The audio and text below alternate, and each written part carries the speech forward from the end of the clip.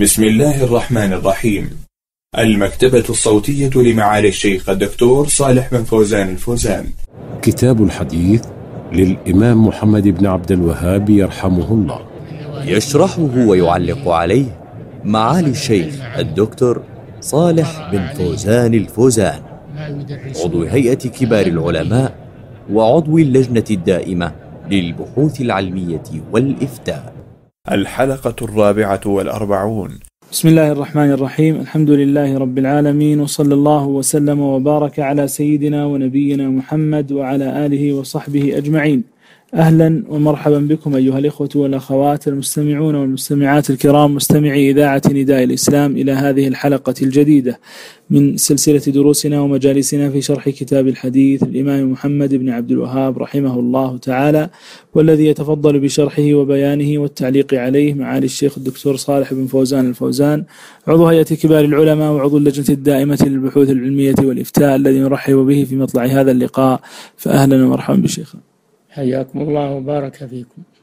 حياكم الله معالي الشيخ. نستأنف آه، ما بقي من باب ستر العورة إذ قال الإمام محمد رحمه الله تعالى وعن عبد الله بن عمرو قال رأى رسول الله صلى الله عليه وسلم علي ثوبين معصفرين فقال إن هذه من ثياب الكفار فلا تلبسها. بسم الله الرحمن الرحيم. الحمد لله رب العالمين. صلى الله وسلم على نبينا محمد وعلى آله وصحبه أجمعين. معصفرين يعني مصبوغان, بالعصفر. فلما لبسهما أو لبس هذا الثوب هذا الصحابي الجليل ورآه النبي صلى الله عليه وسلم نهاه عن ذلك. ليه؟ لأنها من لباس الكفار يعني مما اعتاد الكفار آه، لبسه. والمسلم لا يتشبه بالكفار. نعم. وعن حذيفة قال نهانا النبي صلى الله عليه وسلم أن نشرب في آنية الذهب والفضة وأن نأكل فيها وأن نلبس الحرير والديباج وأن نجلس عليه. نعم. النبي صلى الله عليه وسلم في هذا الحديث نهى عن شيئين الشرب في آنية الذهب والفضة. لأن هذه من سمات الكفار ولأن هذا من الإسراف والبذخ. فلا يجوز استعمال آنية الذهب والفضة في الأكل والشرب. وفي حديث الذي يشرب في آنية الذهب والفضة إنما يجرجر في بطنه نار جهنم. في حديث آه، هي لهم في الدنيا ولا ولكم في الآخرة. فلا يجوز التشبه بالكفار واستعمال آه هذه الأواني الفخمة والأواني الراقية لأنها تكسب الكبر من ناحية ولأنها تختص بالكفار ونحن منهيون عن التشبه بالكفار. وأن نلبس الحرير والديباج. الحرير يعني الخالص. الحرير المنسوج من الحرير الخالص. والديباج ما أيضا نوع خاص من الحرير.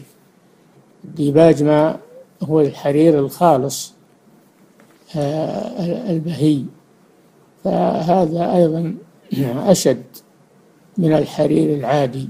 نعم. وفيه أنه استسقى فسقاه مجوسي في إناء من فضة فرماه به. فقال إني قد أمرته ألا يسقيني فيه. نعم سقاه المجوسي والمجوسي من كان هم الذين يعبدون النار هؤلاء هم المجوس يعبدون النار. سقى النبي صلى الله عليه وسلم بإناء ها؟ بإناء من فضة بإناء من فضة. ويحرم على المسلم أن يشرب في آنية الذهب أو آنية الفضة فرماه به ضربه به عقوبة له. وعن علي قال نهاني رسول الله صلى الله عليه وسلم عن جلوس على المياثر والمياثر شيء كانت تجعله النساء لبعولتهن على الرجل كالقطائف من الأرجوان.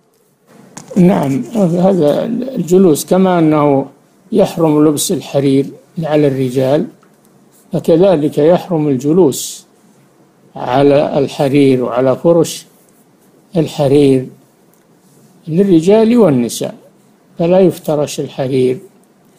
نعم. وعن أبي مالك الأشعري مرفوعا ليكونن من أمتي أقوام يستحلون الحر والحرير والخمر والمعازف. ليكونن من أمتي يعني في آخر الزمان وهذا من علامات الساعة. قوله من أمتي يدل على أنهم من المسلمين. قوم يستحلون الحر يعني الفرج وهذا كناية عن الزنا. والحرير يعني لبس الحرير على الرجال وهذا محرم أيضا. هو الحرى والحرير والخمر يشربون الخمر وهذا كبيرة من كبائر الذنوب. والمعازف جمع معزفة وهي الموسيقى وأنواع الموسيقى وكلها محرمة ويستحلها قوم في آخر الزمان. نعم. ولمسلم عن عائشة قالت إنما كان فراش رسول الله صلى الله عليه وسلم الذي ينام عليه أدما حشوه ليف. كان فراش النبي صلى الله عليه وسلم الذي ينام عليه أدما يعني جلد جلد مدبوغ حشوه ليف يعني داخله ليف النخل. هذا من باب التواضع وترك الإسراف في آه، الفرش الوثيرة. نعم. وله عن جابر أن رسول الله صلى الله عليه وسلم قال له فراش للرجل وفراش لامرأته والثالث للضيف والرابع للشيطان. يعني الإسراف في آه، في إعداد الفرش الكثيرة. هذا لا ينبغي وإنما حسب الحاجة. يكون عند الإنسان فراش له خاص وفراش لامرأته وفراش للضيف.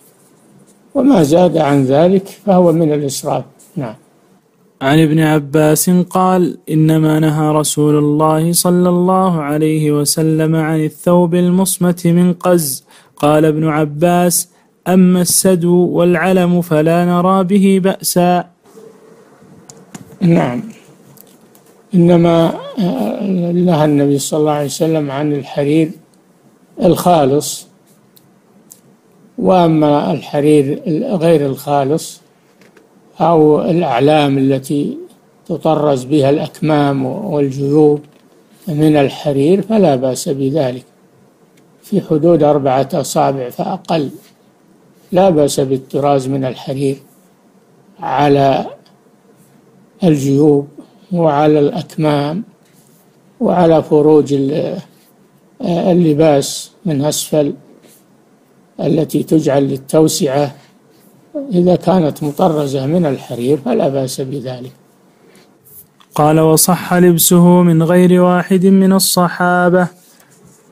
نعم لبس المطرز بالحرير الذي لا زيادة فيه عن العادة ولا إسراف فيه. نعم. وعن أبي موسى مرفوعا حرم لباس الحرير والذهب على ذكور أمتي وأحل لإناثهم. نعم. هذا عموم. حرم لباس الحرير والذهب على ذكور الأمة. فلا يجوز للذكر من المسلمين أن يلبس الحرير الخالص وأن يلبس الذهب خاتم الذهب تحلي بالذهب. إنما هذا للنساء. الرجل لا يلبس الذهب.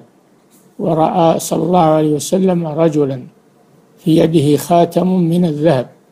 فنزعه الرسول صلى الله عليه وسلم وألقاه.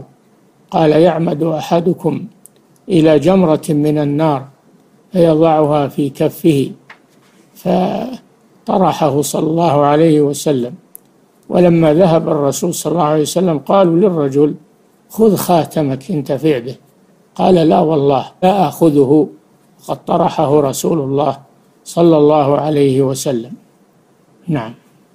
ولمسلم عن بسر بن سعيد عن زيد بن خالد عن أبي طلحة قال إن رسول الله صلى الله عليه وسلم قال إن الملائكة لا تدخل بيتا فيه صورة. قال بسر ثم اشتكى زيد فعدناه. فإذا على بابه ستر فيه صورة. فقلت لعبيد الله الخولاني ألم يخبرنا زيد عن الصور يوم الأول؟ فقال عبيد الله ألم تسمعه حين قال إلا رقما في ثوب. قلت لا قال بلى قد ذكر ذلك. الصور لا يجوز إبقاؤها في المنزل إلا نوعان من الصور. النوع الأول الصور الممتهنة التي تداس ويجلس عليها. هذه لا بأس بها لأنها مهانة وإنما المراد الصور المعلقة التي تعلق على الجدران. الصور المعلقة على الجدران. تعظيما لها لا سيما صور المعظمين من الملوك ونحوهم فلا يجوز تعليق الصور على الجدران في البيوت. والملائكة لا تدخل بيتا فيه صورة من هذا النوع. ملائكة الرحمة لا تدخل بيتا فيه صورة. ولا تدخل بيتا فيه كلب. لا يجوز إدخال الكلاب في البيوت وإنما كلاب الحراسة تجعل يجعل لها مكان آخر مستقل عن البيوت. وكذلك فالملائكة لا تدخل بيتا ملائكة الرحمة لا تدخل بيتا فيه كلب ولا تدخل بيتا فيه صورة. فالصور المهانة لا قيمة لها ولا تمنع دخول الملائكة. هذا نوع والنوع الثاني الصور المحتاج إليها كصورة الجواز ورخصة القيادة وجواز السفر. هذه للحاجة لا بأس باقتنائها لأنه لا يتوصل إلى حاجته إلا بها. نعم. وله عن عائشة سئلت هل سمعت رسول الله صلى الله عليه وسلم ذكر ذلك؟ فقالت لا ولكن سأحدثكم ما رأيته. رأيته خرج في غزاته فأخذت نمطا فسترته على الباب. فلما قدم فرأى النمط عرفت الكراهية في وجهه فجذبه حتى هتكه. وقال إن الله عز وجل لم يأمرنا أن نكسو الحجارة والطين قالت فقطعنا منه وسادتين وحشوتهما ليفا فلم يعب ذلك علي. نعم ستر الجدران هذا من الإسراف ولا يجوز.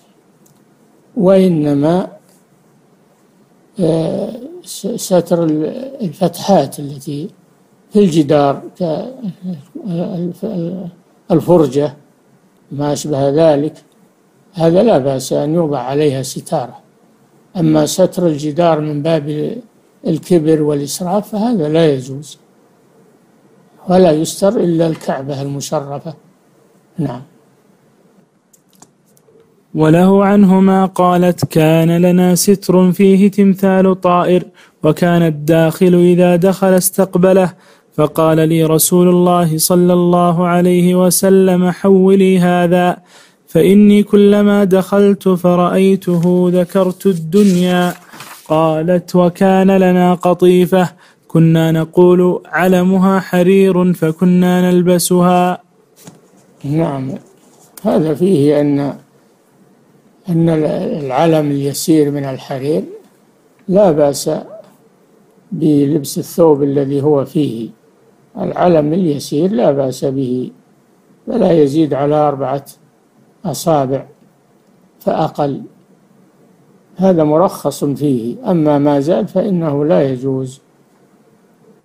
وله عنها قالت قدم رسول الله صلى الله عليه وسلم من سفر وقد سترت على بابي دركونا فيه الخيل ذوات الأجنحة فأمرني فنزعته.